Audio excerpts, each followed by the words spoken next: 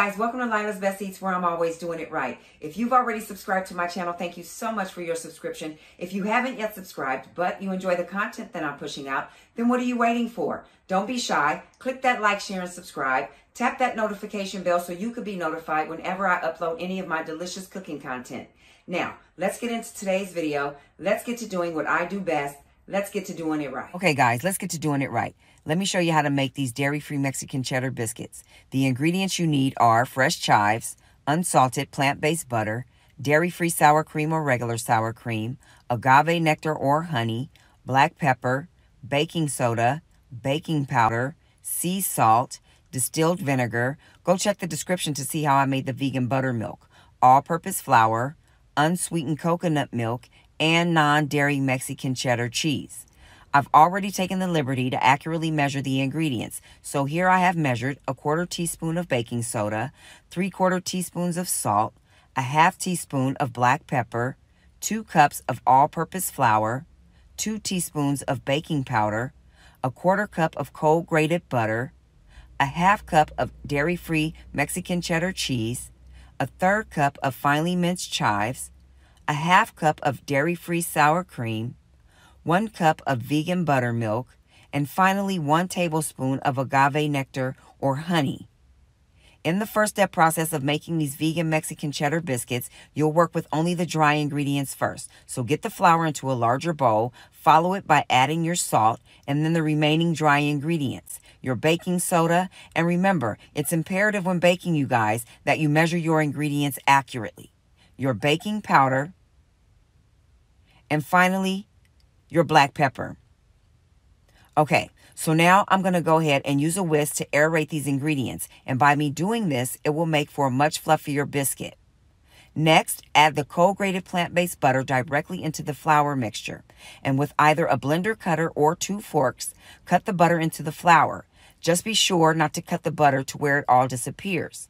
Leave visual bits of butter because that's what's going to help make the exterior of the biscuit that much more flakier. Once you finish completely cutting the butter into the flour, this is what your flour should look like. Your flour should look and have a slight crumbled texture to it. Next, add your dairy-free Mexican cheddar cheese. Then grab those finely minced chives and get those right into the bowl as well. And be sure to get all of your ingredients.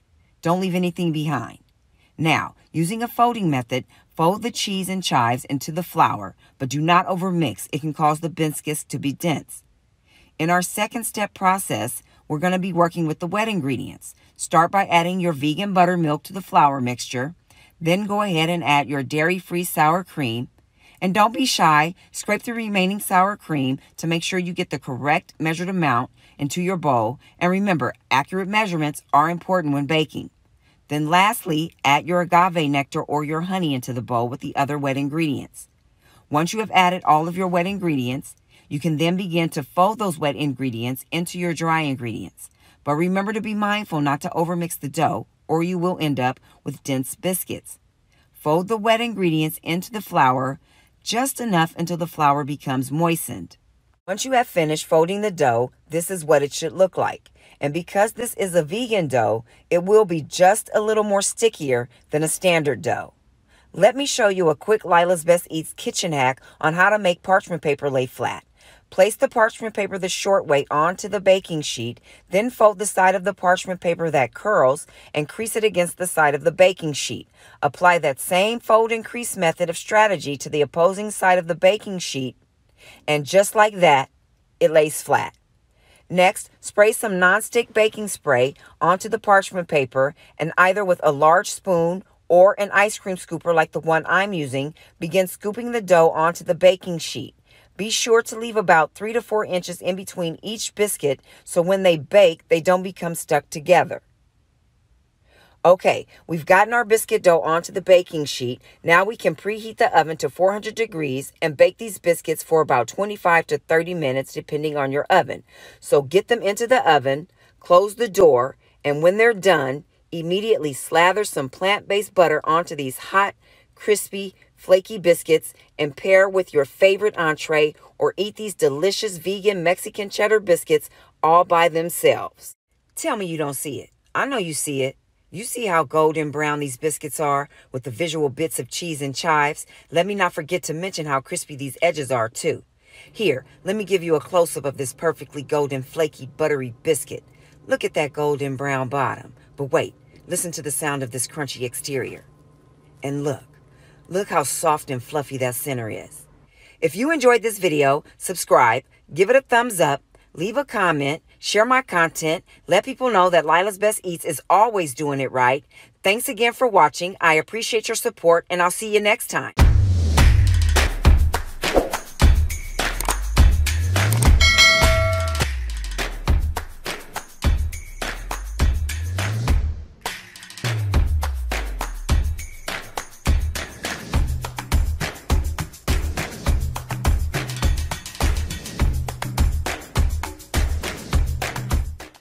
Guys, welcome to Lila's Best Eatz where I'm always doing it right. If you've already subscribed to my channel, thank you so much for your subscription. If you haven't yet subscribed, but you enjoy the content that I'm pushing out, then what are you waiting for? Don't be shy. Click that like, share, and subscribe.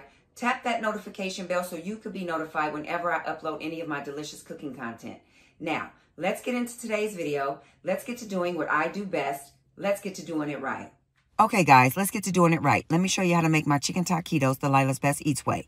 Grab you some cilantro, onion, two lemons, plant-based mozzarella or regular mozzarella, dairy-free sour cream or regular sour cream, olive oil, Chef Merito Pollo seasoning or whatever pollo seasoning you prefer, low-sodium seasoned salt, chicken breast or chicken tenders, garlic powder, onion powder, black pepper, and some corn tortillas. Now, in this first step, get your olive oil, add about a tablespoon to a large pot with six cups of water, and bring it to a boil.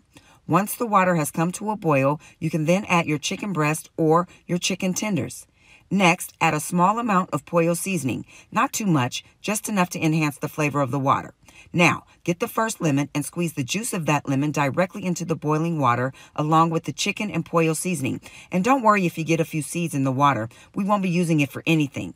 Adding the juice of this lemon will not only enhance the flavor of the water, but it will also aid in assisting with the cooking process, which we need because we're going to slightly undercook the chicken to make it easier to shred.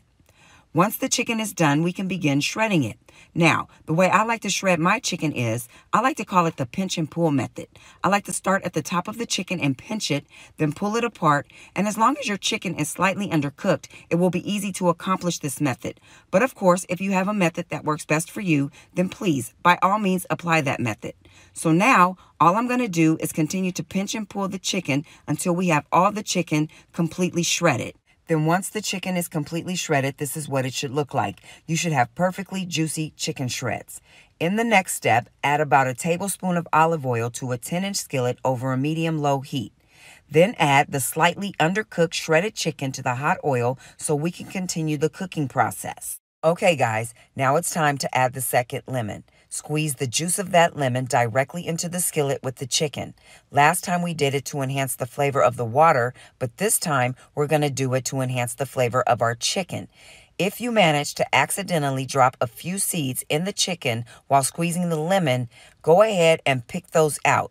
We don't want to crack a tooth. And since we still have to finish cooking the chicken, be sure to get all the lemon juice into the skillet. It will help create a liquid that will help aid in the final process of cooking. Next, I'm going to add a small amount of Lawry's low sodium seasoned salt, but not too much because as you guys know, I don't like to cook with a lot of salt. Then I'm going to add some Chef Merito Pollo seasoning. I don't personally measure the seasonings in this particular recipe, you guys, because it's pretty much up to you to use as much or as little as you'd like. Next, add the garlic powder and feel free to be a little generous with it too, seeing how it doesn't contain any sodium. Then follow up by adding the onion powder, and you can also be generous with it because just like the garlic powder, it doesn't contain any sodium.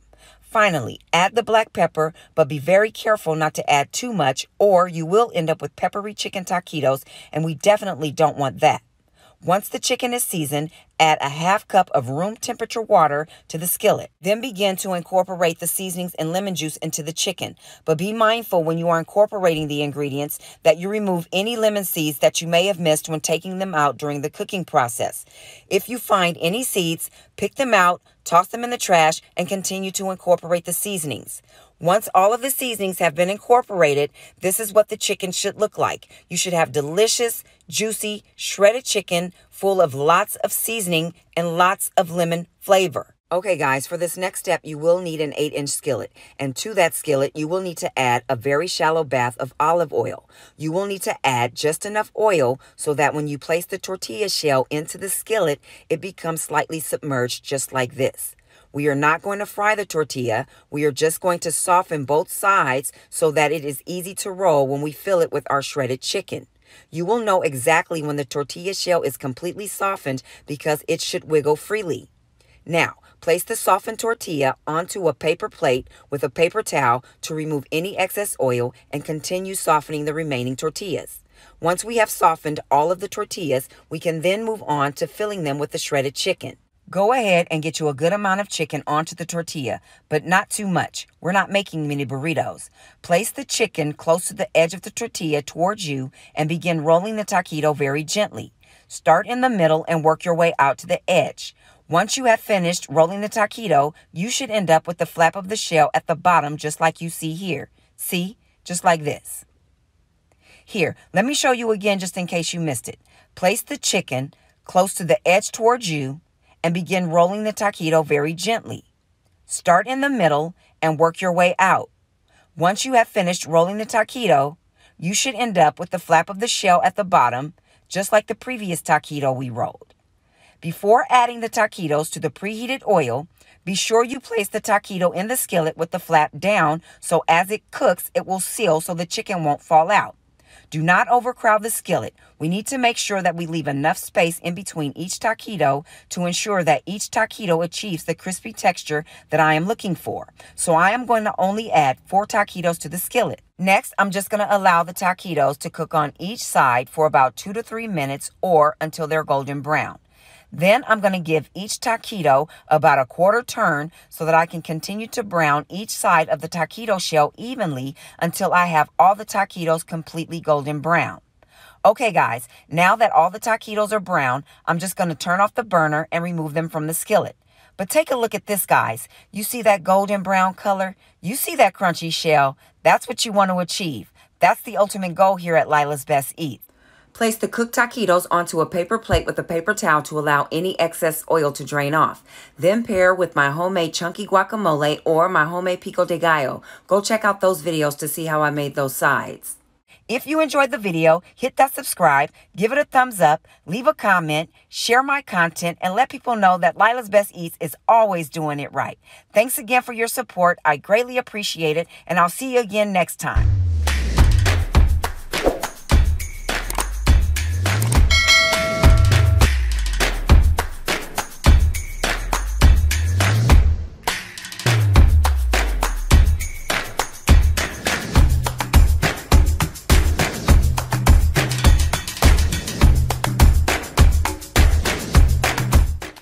Everybody. Thank you for joining me today at Lila's Best Eatz. I hope everyone's doing well. If you've already subscribed to my channel, thank you so much for your subscription. I greatly appreciate it. If you haven't yet subscribed, but you enjoy the content that I'm pushing out, then what are you waiting for? Don't be shy. Click that like, share, and subscribe. Tap that notification bell so you can be notified every time I upload any of my delicious cooking content. Now, let's get into today's video. Let's get to doing what I do best. Let's get to doing it right. All right, guys, let's get to doing it right. For my easy guacamole, you'll need three large Hass avocados, a half teaspoon and one tablespoon measuring spoon, some cilantro, red onion, garlic, lime, Roma tomatoes, black pepper, garlic powder, and sea salt. Okay, we need to get our avocados prepped for our guacamole. Using a sharp knife, let's first start by cutting all three avocados in half. Then we'll remove the large seed from each of the sliced avocados. Once the seeds have been removed from all of the avocados, we can then use a large spoon to scoop the flesh out into a large bowl. To scoop out the flesh, just simply place the back of the spoon against the skin of the avocado, then rotate the spoon in between the flesh and the skin, and that's it. I'm just going to continue removing the flesh from the remaining avocados, and then I'll be back to show you guys the next steps. All right, guys, let's get started with the next steps of making my easy guacamole. We're going to begin first with finely mincing both the leaves and the stems from this bunch of fresh cilantro. And whenever I use cilantro in any of my recipes, you guys, I always like to include the stems because that's where the pungent flavor profile of cilantro comes from. If you're someone who doesn't prefer a strong flavor of cilantro in your guacamole, then you can always feel free to omit the stems and just use only the leaves. After we're done mincing the cilantro, we can measure out three full tablespoons and add them directly into the bowl with the avocados. But be sure when you're measuring out the cilantro that you don't pack it into the measuring spoon, otherwise your measurements will not be accurate. Go ahead and measure out the final tablespoon and then we'll move on to mincing the red onion. Here's a helpful hint for those of you who get a little teary-eyed whenever you cut into an onion. Just simply chill the onion for about 30 minutes, then cut the onion in half, leaving the root intact, and that should help reduce those teary eyes. So let's go ahead and begin slicing a couple of slices of this red onion, about three to be exact. And then we can begin removing the outer layer and the first few layers along with the white center part of the onion before we commence to finally mincing this red onion the same as we did with the cilantro. Stack the slices on top of one another, then cut the slices in half and begin the mincing process. Mince the red onion as finely as possible so you don't end up with chunky pieces in your guacamole.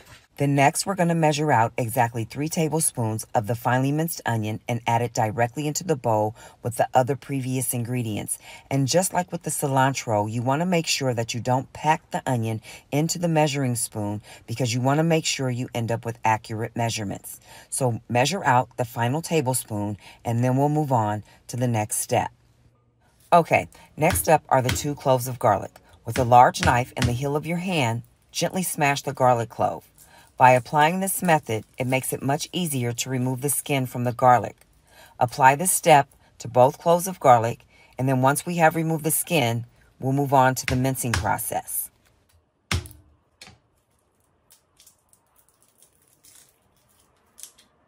All right, now that we've removed the skin from both of our garlic cloves, we can begin our finely mincing process, just as we did with the cilantro and the red onion.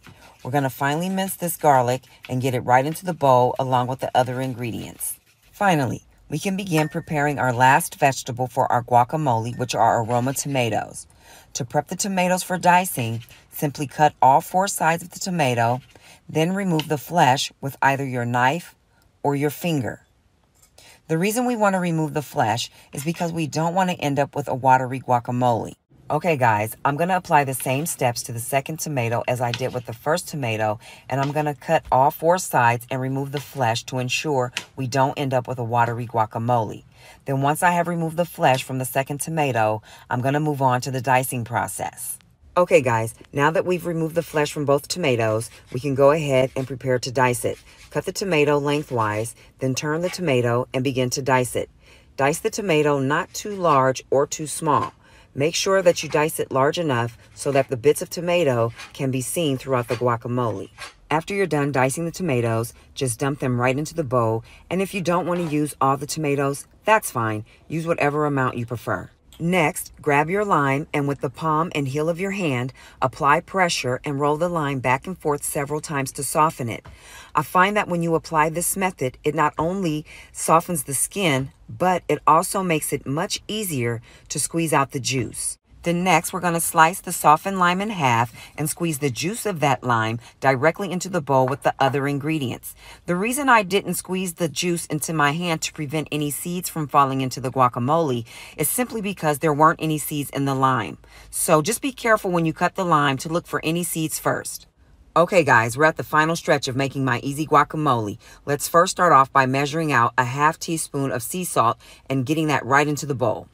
Then add a half a teaspoon of garlic powder. And finally, go ahead and sprinkle in some black pepper, and that will complete the last of our seasonings.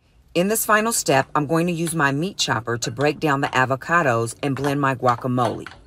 And I chose this tool in particular, you guys, because it won't smash the avocados into mush. Instead, it will leave the guacamole with a more chunky texture, which I prefer. Then once you're done smashing all of the ingredients, this is how your guacamole should look. Pair the guacamole with your favorite chips and enjoy. If you enjoyed the video, subscribe, give it a thumbs up, leave a comment, share my content, let people know that Lila's Best Eatz is always doing it right. Thanks again for watching. I appreciate your support, and I'll see you again next time.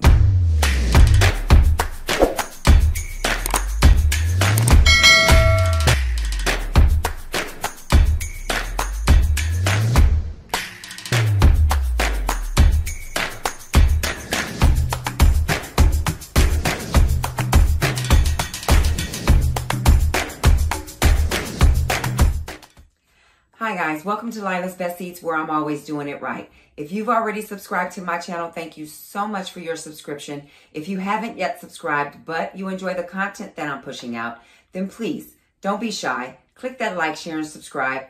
Tap that notification bell so you can be notified whenever I upload any of my delicious cooking content.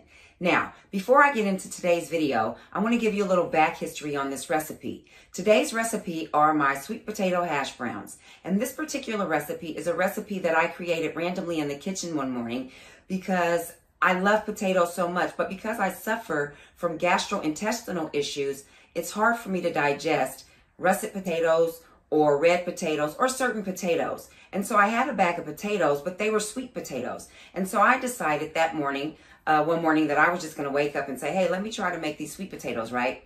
But I wasn't sure before applying this method if they would come out and be the same as regular standard hash brown potatoes because of the sugar content in them, right?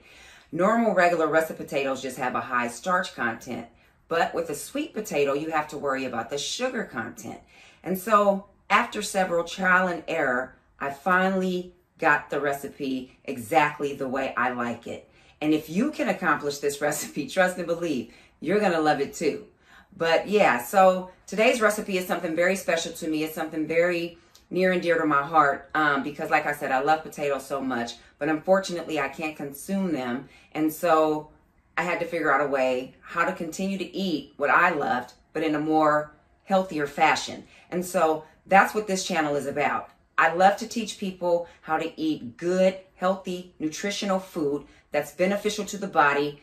And, you know, it gives you what you need so that you can sustain throughout the day. So, without any further ado, let's get into today's video and let's get to doing what I do best. Let's get to doing it right. Hey guys, you know what time it is. Let's get to doing it right. Let me show you how to make my sweet potato hash browns. You will need one medium or two small sweet potatoes, a grater, sandwich bags, olive oil, sea salt, and black pepper.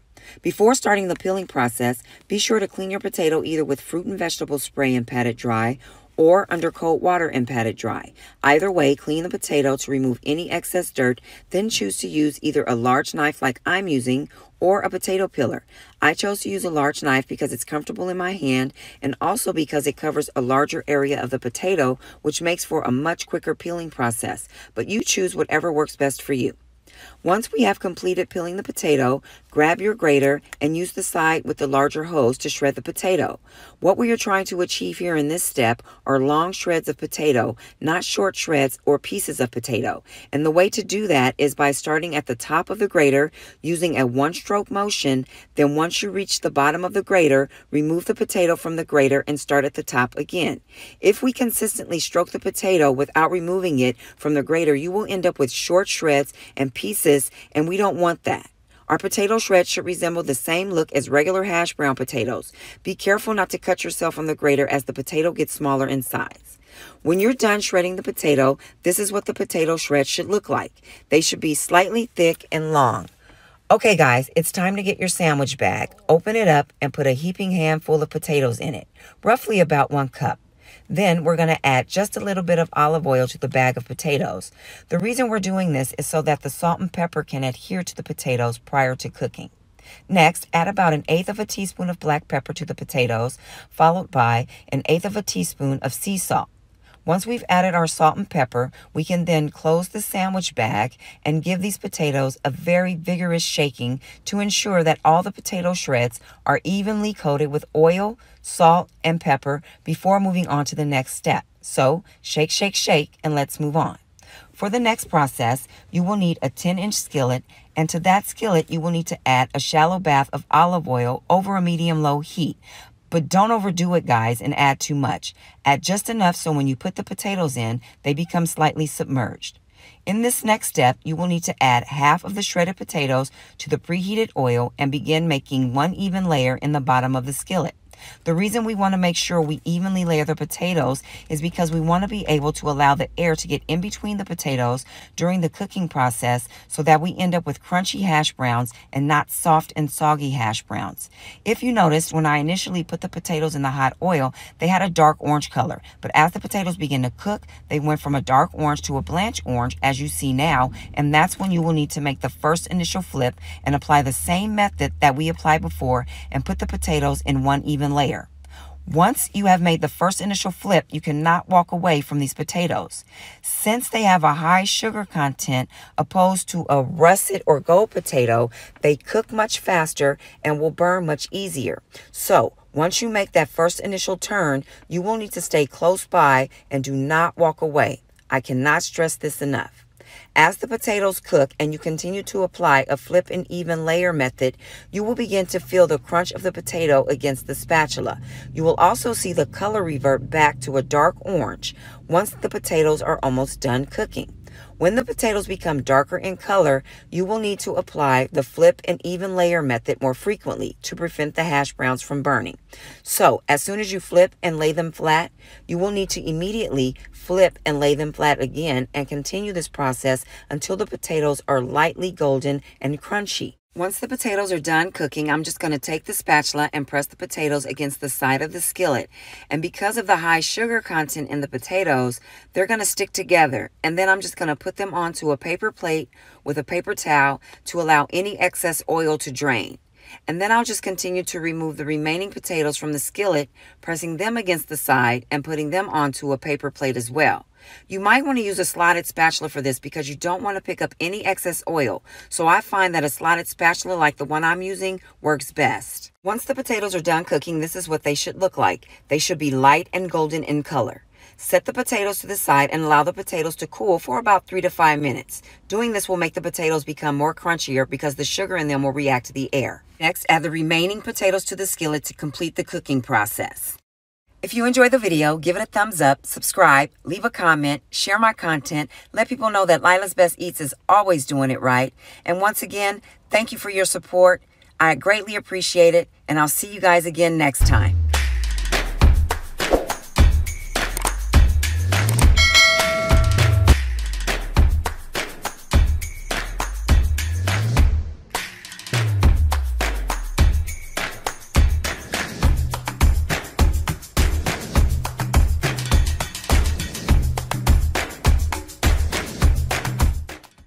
Everybody. Thank you for joining me today at Lila's Best Eatz. I hope everyone's having a good day. If you've already subscribed to my channel, thank you so much for your subscription. If you haven't yet subscribed, but you enjoy the content that I'm pushing out, then please hit that like, share, and subscribe. Tap that notification bell so you could be notified whenever I upload any of my delicious cooking content.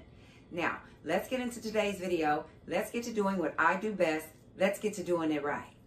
Okay, guys, let's get to doing it right. For my dairy-free hamburger helper, you're going to need these ingredients ground turkey, onion, minced garlic, garlic powder, onion powder, paprika, black pepper, sea salt, parsley flakes, dairy-free cheddar cheese, cornstarch, monk fruit sugar in the raw, cavatappi pasta or whatever pasta you like, olive oil, unsweetened coconut milk, and room temperature water. Now, for the very first step in making this dairy-free hamburger helper, you're going to need to slice off a few slices of the onion, about three to be exact. Then stack the onion, cut it in half, and commence to giving it a rough dicing. Once you've completed dicing the onion, go ahead and place it into a small bowl and set it aside for later. Okay, so we've cut our onion and diced it, and now we're going to move on to the dry ingredients. We're going to first start with measuring out one full tablespoon of paprika and getting it right into the small prep bowl. Then we're going to measure out one full tablespoon of cornstarch. And be sure that when you measure out the cornstarch, you level it off to make sure you have an accurate measurement. Okay, guys, these next few ingredients are going to require separate measurements. So we're going to start with the sea salt and measure out one and a half teaspoons, starting with the first teaspoon and then adding a half teaspoon to that. The onion powder and garlic powder are equal in measurements. We're going to measure one and a half teaspoons of both, starting with the garlic powder. We're going to measure out the first teaspoon, and then we're going to follow it up by adding the half teaspoon. So we're going to do the same with the onion powder. We're going to measure out the first teaspoon, and then we're going to follow it up by adding the additional half teaspoon. Next, we're going to measure out exactly a half a teaspoon of our ground black pepper and get it right into the bowl with the other previous ingredients. Next, we're going to grab our monk fruit sugar and we're going to measure out exactly one full teaspoon. Then once we've gotten all of our seasonings added to this bowl, we're just going to give it a light stir to incorporate all of the seasonings before we add it to the meat. Okay, guys, we're down to our last dry ingredient. We're going to measure out exactly three tablespoons of these parsley flakes and get it right into the bowl, and then we're going to move on to the wet ingredients. For our first wet ingredient, we're going to measure out one and a half cups of our unsweetened coconut milk. But if you prefer a creamier version, then measure out one and three quarter cups of unsweetened coconut milk and then pour that into a separate bowl and set it aside for later. Grab your pasta of choice and measure out exactly two full cups. Now using the same measuring cup, measure out two cups of your dairy-free cheddar cheese. Now it's time to prepare the meat mixture, but before we get started with that, we need to first measure out two cups of our room temperature water and get it into a medium saucepan over a medium low heat and allow it to slowly come to a boil. Now we can move on to the meat mixture. Go ahead and get your olive oil and measure out one tablespoon and get that into the skillet over a medium high heat. All right, you guys, here comes the fun, easy part. Just go ahead and dump everything from this point moving forward, starting with the onions first. Dump those into the skillet. Grab that garlic and open that top and dump about mm, roughly a tablespoon of that into the skillet as well.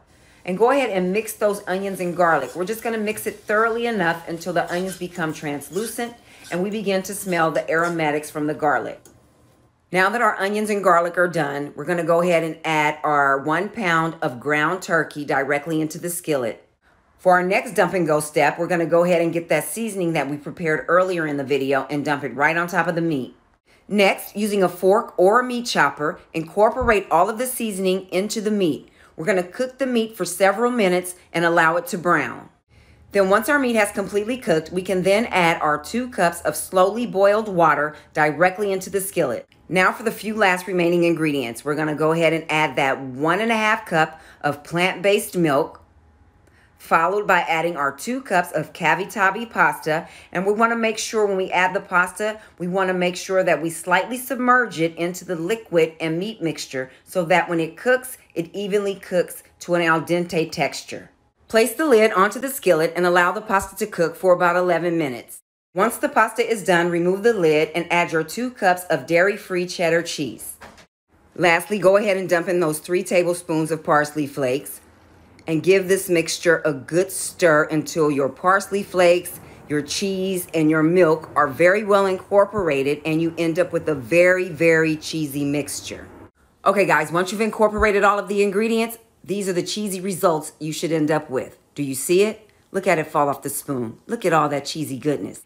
If you enjoyed the video, subscribe, give it a thumbs up, leave a comment, share my content, let people know that Lila's Best Eatz is always doing it right. Thanks again for watching. I appreciate your support, and I'll see you guys again next time.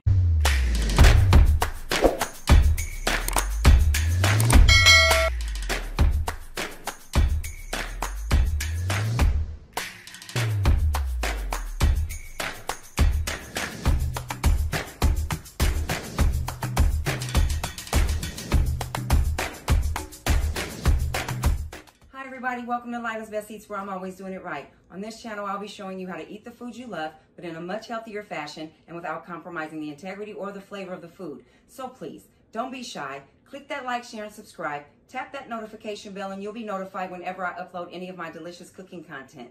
Now, without any further ado, let's get to doing what I do best. Let's jump right into this video and let's get to doing it right. Okay, guys, let's get into this dairy-free chicken pot pie recipe. These are the ingredients needed. You'll need bite-sized potatoes, fresh rosemary, thyme, sage, garlic, onion, plant-based butter, black pepper, garlic powder, parsley flakes, rotisserie chicken, and we're just going to use the breast of the chicken only, frozen peas and carrots, celery, ready-made pie crust, low-sodium chicken broth, all-purpose flour, unsweetened coconut milk, and sea salt. Now, I've already measured everything out, and here I have measured two cups of chopped rotisserie chicken, breast only, one cup of frozen peas and carrots, two cups of cooked baby potatoes, egg washes, one egg to one tablespoon of room temperature water, one third cup of all purpose flour, a half cup of diced celery, one teaspoon of finely chopped rosemary, two garlic cloves finely minced, a half teaspoon of sage, one teaspoon of chopped thyme, one third cup of diced onion, a half teaspoon of sea salt, a quarter teaspoon of black pepper, one third cup of plant based butter, one teaspoon of garlic powder, two third cups of dairy free unsweetened coconut milk, one and three quarter cups of low sodium chicken broth, and two ready made pie crust. All right, guys, let's get going. Let's go ahead and dump that plant-based butter right into that hot skillet and allow it to melt. Once the butter has completely melted, go ahead and toss in your diced onion, followed by your diced celery, and lastly, your finely minced garlic. Now, all we're going to do is we're going to cook these first three ingredients until our onion and our celery are softened and transparent, and we begin to smell the aromatics from the garlic. Then once we've accomplished that, we can go ahead and add in our sea salt, our black pepper, our garlic powder,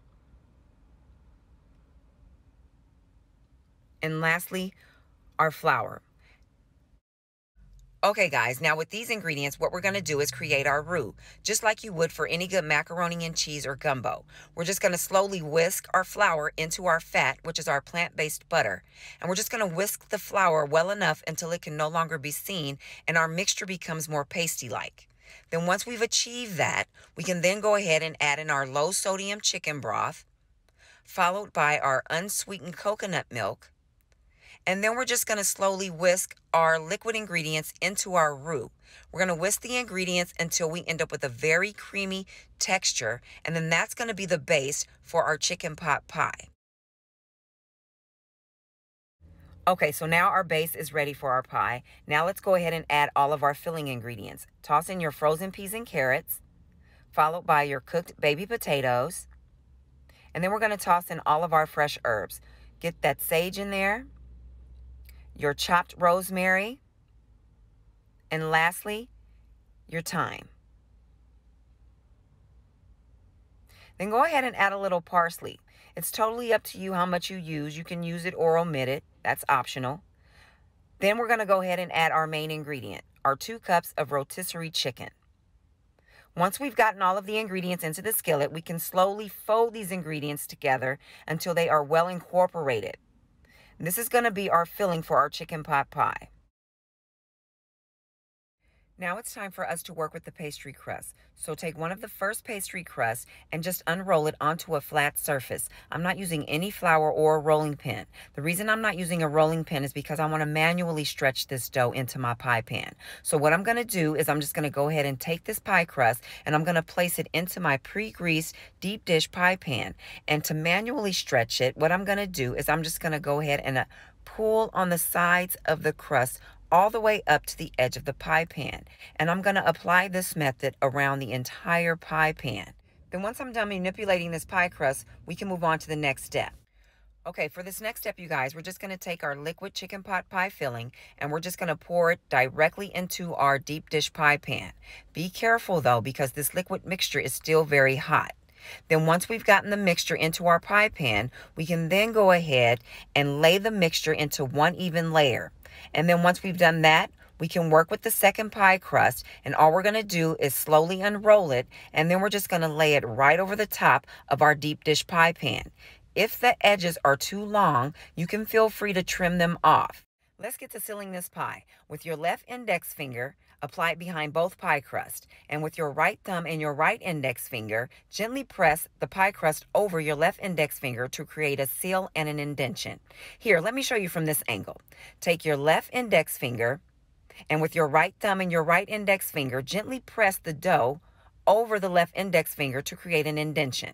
I'm just going to continue with this process until I have completed the entire pie, and then once I'm done, we'll move on to the next step. In this next step, with a small knife, we're just going to slice a few incisions in the top of our pie crust. The reason we're doing this is because we want to be able to allow the liquid mixture inside to be able to vent, and we want any steam that builds up to be able to escape. Now it's time to apply our egg wash. Apply a generous amount to the top, sides, and edges of the pie crust. We're going to do this to ensure that we achieve a golden, shiny, flaky exterior once the pie is done baking.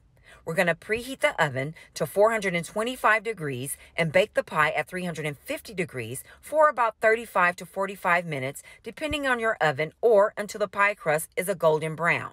Then once the pie is done, you guys, this should be your end result. You should see a nice, golden, shiny, flaky exterior, and you should smell something so amazing that it makes you want to cut into this pie immediately. So how about we do that?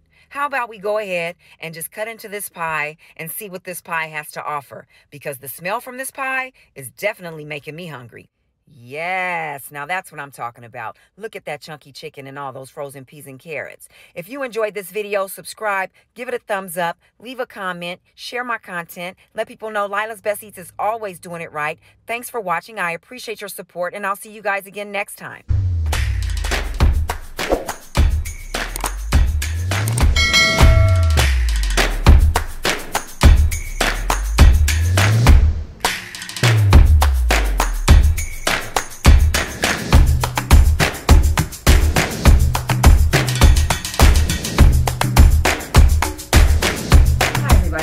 To Best Eatz where I'm always doing it right. On this channel, I'll be showing you how to eat the foods you love, but in a much healthier fashion and without compromising the integrity or the flavor of the food. So please, don't be shy. Hit that like, share, and subscribe. Tap that notification bell so you can be notified whenever I upload any of my delicious cooking content. Now, without any further ado, let's get to doing what I do best. Let's get into this video and let's get to doing it right. Okay, guys, so in the first step of making the corn salad, we're just going to go ahead and open this package so we can get to the corn on the cob. And then all we're going to do is we're going to remove the corn, okay, just like this. And then all we're going to do is we're going to just take the remaining corn, the unexposed corn, out of the husk. And all we want to do is peel it away like this. Grab it, pull it.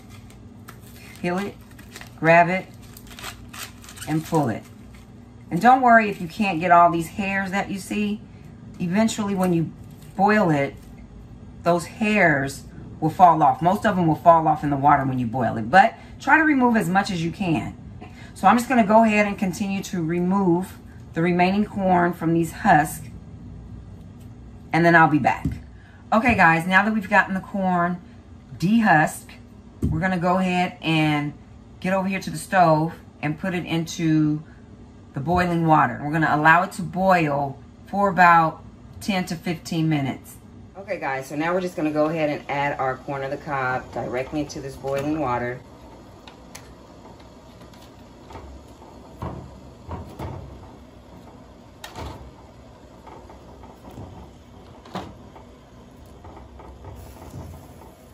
And like I said, we're just to allow it to boil for about 10 to 15 minutes.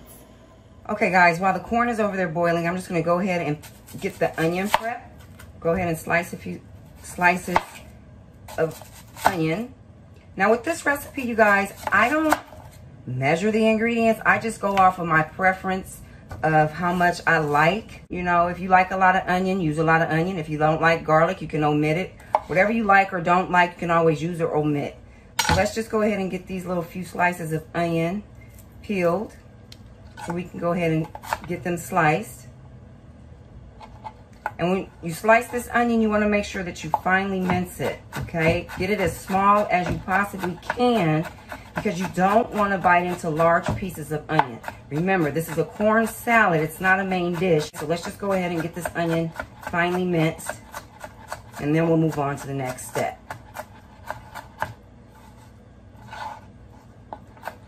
So for me, this will probably be all I would use because, like I said, it's a corn salad. So the flavor of the onion is going to come through regardless. because everything in here is just a vegetable. There's no meat or protein. So I'm just gonna use about this much for my four ears of corn. So that was about two large slices. So I would guess, roughly guess and say that this is about anywhere between two to three tablespoons of minced red onion. Okay guys, we've gotten the onion finely minced. Now it's time to move on to the garlic. So all we're gonna do is we're gonna take our knife, take a clove of garlic, take our knife, and with the palm of our hand, we're gonna give it a smash so that we can peel the shell of the garlic away. Apply the same method to the second piece of garlic so we can remove it from its shell. And then now we're just gonna go ahead and finely, finely mince our garlic, just like we did with the onion.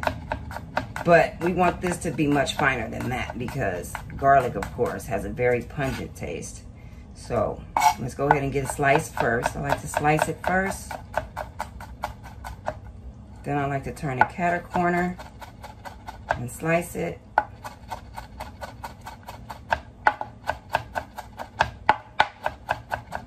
And repetitively go over it with your knife if you have to in order to get it as finely minced as possible. I'm only going to use two cloves of garlic for this recipe.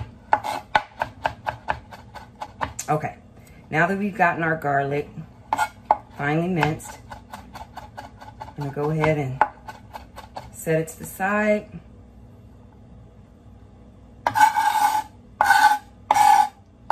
We can put it in a prep bowl and work on our cilantro.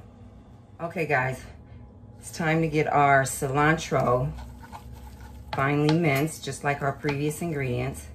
So go ahead and roll the cilantro into a, a roll like that. And then just finely mince the cilantro. And just like with the garlic, you may have to repetitively go over it and over it to get it to the consistency that you want. Um, so yeah, I'm just gonna go ahead and finish mincing this and then I'll be back. Okay guys, our corn is done. So we're just gonna go ahead and get it right onto a plate so it can cool. So just remove the corn and put it onto a plate and allow it to cool.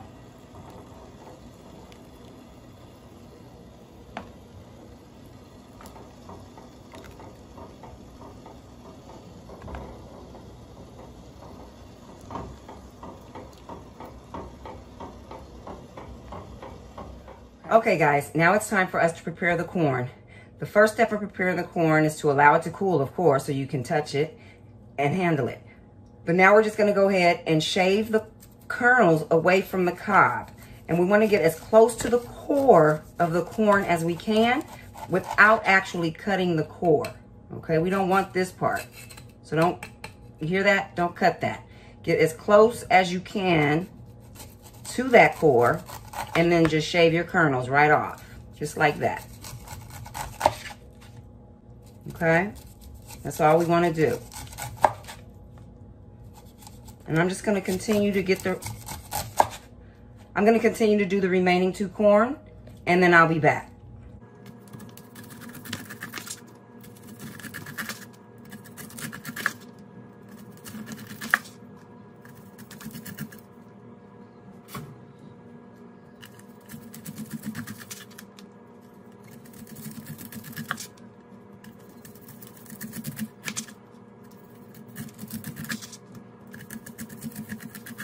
Okay guys, we've gotten the corn done, we've gotten everything minced, and so now it's time to prepare the salad. So what we need to do first, as you can see, the corn, once we sliced it off of the cob, it's still connected together. So what we need to do is we need to take a fork and we need to just gently break up the corn kernels so that they're separated, all right? Before we can prepare the salad and add any of the other ingredients. So I'm just gonna go ahead and break down these kernels for you really quick.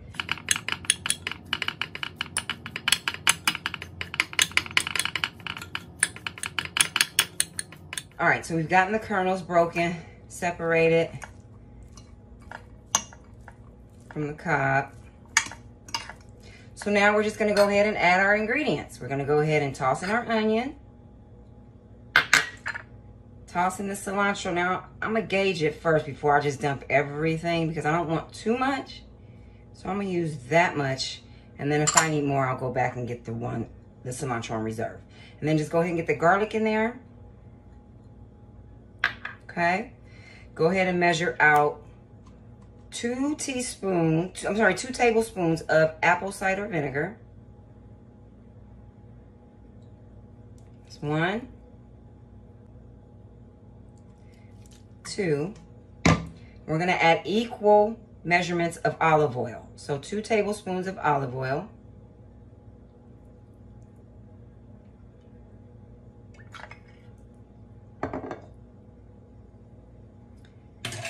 Now we're going to measure out a half a teaspoon of sea salt.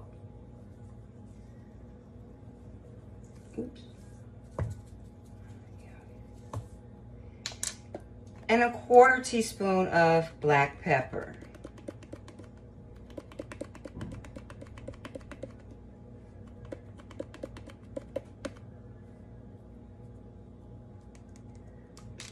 And now we're just going to incorporate these ingredients until they're all well integrated. And then we're just going to refrigerate this overnight for best results.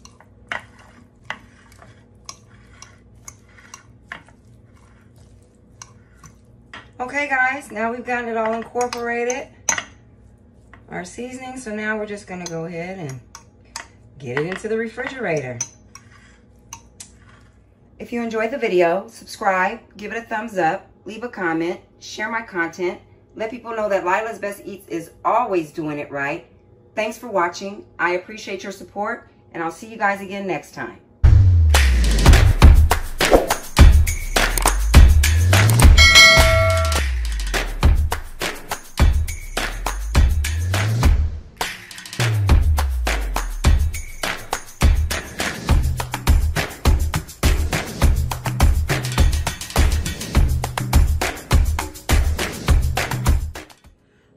Welcome to Lila's Best Eatz where I'm always doing it right. If you've already subscribed to my channel, thank you so much for your subscription. If you haven't yet subscribed, but you enjoy the content that I'm pushing out, then what are you waiting for? Hit that like, share, and subscribe.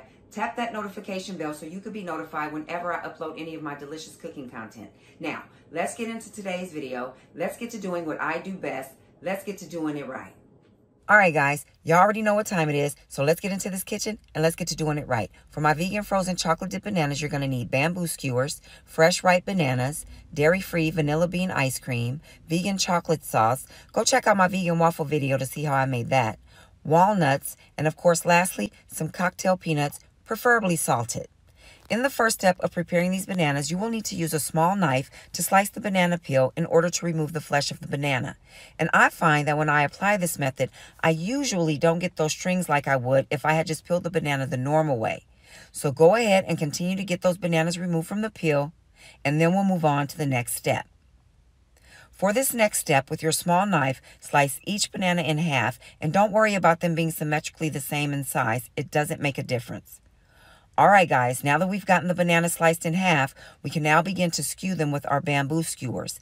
And since we're working with ripe bananas, we really don't want to apply too much pressure or force when skewing the bananas because we don't want to break the banana in half. So what we're going to do is we're going to just carefully insert the bamboo skewer through the center of each one of the banana halves, and we're inserting it just far enough to support the weight of the banana so as we eat the banana, the banana doesn't break off the stick.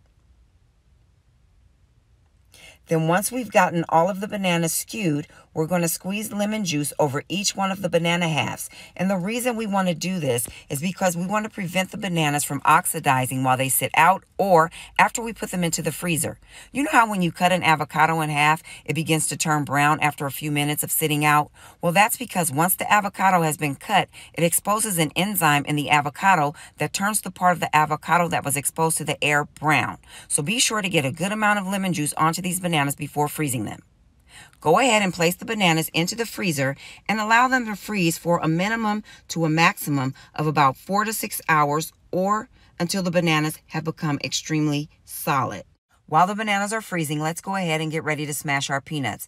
Pour a good amount of nuts into a Ziploc bag. Pour just enough so after you smash them, you have enough to coat the bananas. Remove all the air from the bag before you begin the smashing process. Make one even layer of peanuts, zip the bag, then select a kitchen tool that you can use to smash the nuts. I couldn't find exactly what I was looking for today, so I chose to use my knife sharpening tool. Smash the nuts just enough until they resemble chopped peanuts. Then pour the nuts into a small bowl. Once we've gotten the nuts into the small bowl, this is what the nuts should look like. Set the nuts aside, get your walnuts, and apply the same exact steps as you did with the peanuts. The walnuts are going to be just a little bit easier to smash though because they are much larger than the peanuts and also because they're softer than the peanuts. So get them also into one flat even layer and commence to smashing them until they also resemble chopped walnuts. Okay, here comes the fun part, guys. It's time to dip the frozen banana into our dairy-free vanilla bean ice cream. But before we do, pour the ice cream into a very tall glass to make for easy, evenly dipping.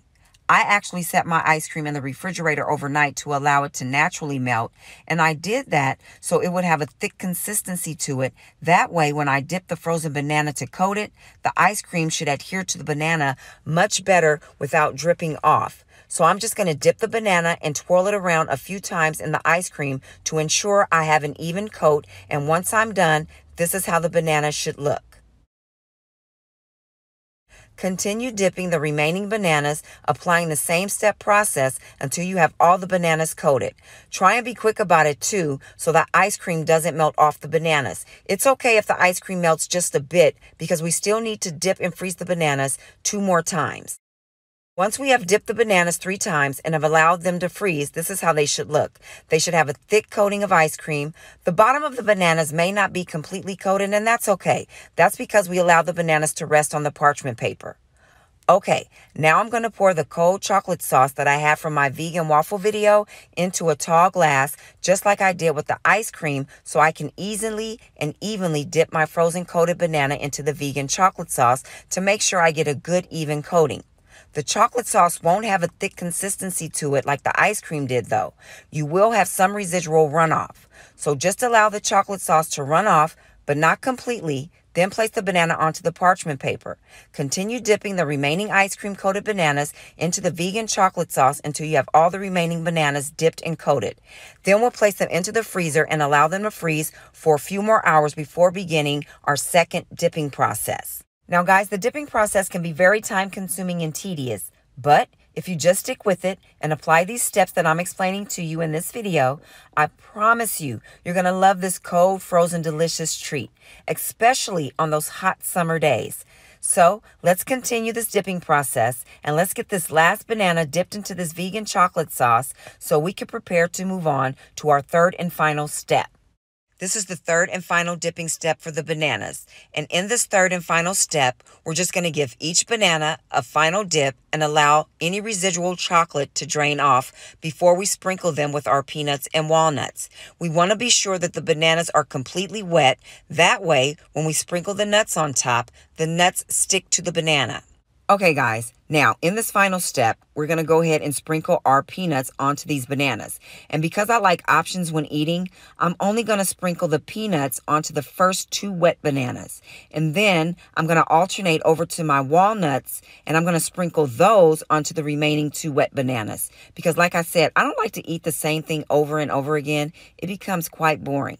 So I like to have options. If you enjoy the video, subscribe, give it a thumbs up, leave a comment, share my content, and let people know that Lila's Best Eatz is always doing it right. Thanks again for watching. I appreciate your support, and I'll see you again next time.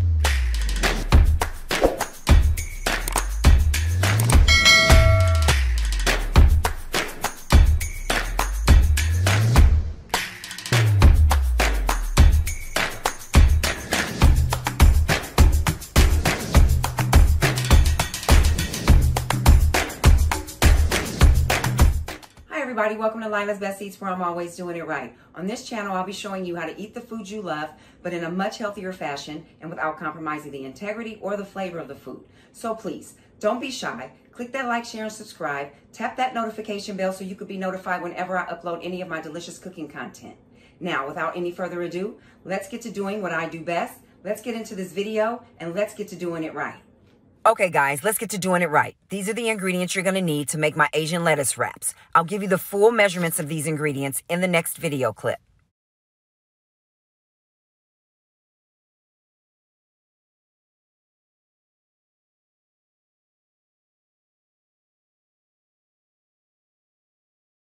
Okay, guys, as promised, here are the ingredients you will need. You will need one tablespoon of minced garlic, two teaspoons of fresh minced ginger, two teaspoons of sesame oil, one tablespoon of low sodium soy sauce, two tablespoons of rice wine vinegar, two green onions chopped and divided, white and green, one red bell pepper finely chopped, one pound of ground chicken, one cup of water chestnuts, and salt and pepper to taste.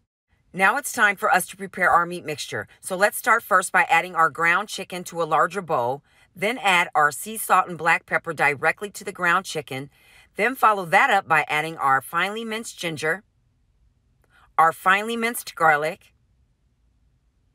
and then we're only going to use the white part of the green onion and get that into the bowl, followed by our finely chopped red bell pepper. Then we're going to add our soy sauce, our sesame oil, followed by our rice wine vinegar, and then last but not least, we're going to add our water chestnuts. Now I'm just going to grab my green onion and I'm going to add about a handful to this mixture and then I'm going to put the rest on reserve for later. Now that we've gotten all of our ingredients into the meat mixture, we can then go ahead and gently massage these ingredients to incorporate them into the meat. We don't want to overwork the meat because unlike beef, chicken doesn't have a lot of fat and if you overwork it, you will melt the fat that it does have. Once we're done incorporating the ingredients into the ground chicken, this is what the result should look like. Your ground chicken should be moist and full of vibrant color. Here are the ingredients you're going to need for the sauce. You're going to need two tablespoons of rice wine vinegar, two teaspoons of monk fruit sugar, five tablespoons of low sodium soy sauce, two teaspoons of sesame oil, one teaspoon of cornstarch, and two tablespoons of hoisin sauce. Okay, guys, now it's time for us to prepare our sauce. So let's get these ingredients into a larger bowl, starting with our five tablespoons of soy sauce first, then adding our two tablespoons of rice wine vinegar to that, followed by our two teaspoons of sesame oil. Then we're going to add our two tablespoons of hoisin sauce. Now with the hoisin sauce, you may either need to use a whisk or a spoon to make sure you get all of that ingredient because it's kind of sticky. Then add your one teaspoon of cornstarch and then lastly, go ahead and add the two teaspoons of monk fruit sugar. Now, we're just going to go ahead and use a whisk to incorporate all of these ingredients until they are well dissolved. Now it's time for us to begin the cooking process, but before we do, let's add one tablespoon of olive oil to a skillet over a medium-high heat. Once the olive oil has reached its heated temperature, we can then add our marinated chicken meat mixture directly into the hot skillet and allow it to cook until it is completely browned. Once the meat mixture is done and has completely browned, we can then add our pre-made sauce and pour it all over the meat mixture. Okay, guys, after we've poured the sauce into our meat mixture, we want to make sure that we well incorporate that sauce into the meat. So be sure to mix the meat well and make sure that the meat is well coated with the sauce. Now go ahead and grab that green onion we had on reserve and dump it right into that meat mixture. And because we're using the green onion as a garnish, we don't necessarily need to cook it, so just lightly fold it into the mixture. Once the meat mixture is done cooking, this is what the end result should look like. You should have delicious, moist ground chicken with lots of flavor and beautiful, vibrant colors. Okay, guys, now it's time to go ahead and prepare the lettuce wraps. I already previously made some jasmine rice, and I'm just going to go ahead and add about two tablespoons or more to each one of the lettuce cups. I like to add rice to my lettuce cups because from the juice of the meat mixture, I like it to absorb in the rice because it adds an additional depth of flavor. But if you prefer not to add any rice, then that's your choice. You don't have to. So I'm just going to go ahead and add some rice to this final lettuce cup, and then we're going to move on to adding the meat mixture to the lettuce cups. Okay, guys, now it's time to add the meat mixture to our lettuce cups. And just like with the jasmine rice, I'm only going to add a few tablespoons per lettuce cup. I'm not adding much meat mixture to my lettuce cups because I did add jasmine rice, and that's going to make the lettuce cups more filling. But if you're a lot hungrier than I am, then feel free to add as much meat as you prefer. I'm just going to go ahead and finish adding the rest of the meat, and then I'll show you guys what the results should look like. Okay, guys, here are the end results for the Asian lettuce wraps. If you enjoyed the video, subscribe, give it a thumbs up, leave a comment, share my content, let people know that Lila's Best Eatz is always doing it right. Thanks again for watching. I appreciate the support, and I'll see you again next time.